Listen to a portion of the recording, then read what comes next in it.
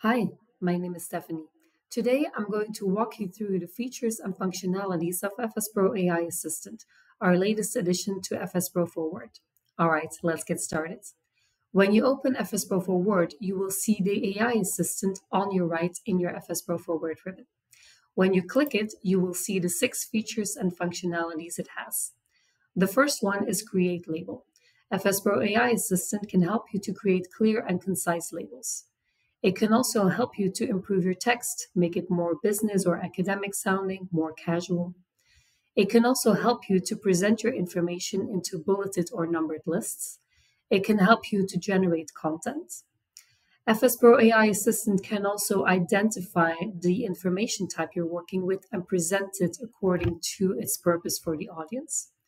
And it can help you to map a piece of unstructured text.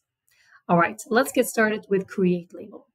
I have a piece of block text right here, but I don't have a block label yet. So what I can do is I can highlight my text. I can go to the AI assistant and I can click create label. And it will now give me a suggestion for a clear and concise label. When I highlight my text again and I click improve text, I get this screen where I can improve the grammar to standard, casual, business, or academic. Let's take a look at business and see what it gives us. Right now, it gives us a more business sounding tone.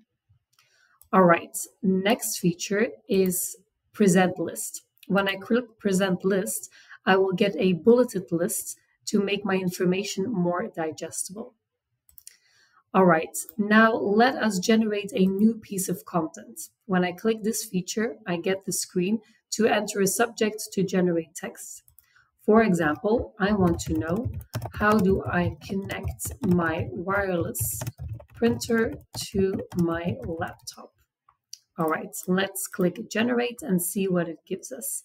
It will give us a piece of text, which is unstructured still, but it will give me an idea of what I want to write. All right, let's highlight my text and go to the next feature, which is present information type. Now, when I click this feature, FS Pro AI Assistant will identify the information type I'm working with and it will present it in the correct way. In this case, it's a step action table because we are working with a procedure.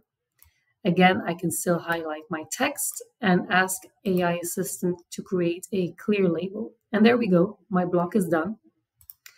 All right, let's get to the last feature in FS Pro AI Assistant, which is map text.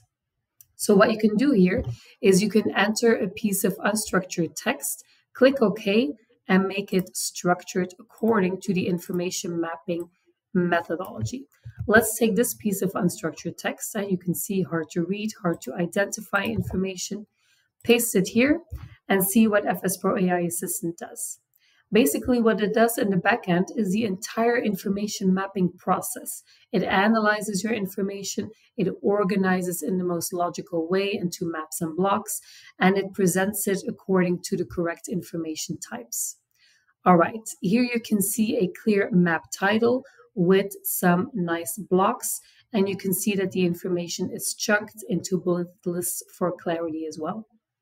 All right, that's it for the FS Pro AI Assistant. We hope you like it and we hope you enjoy using it.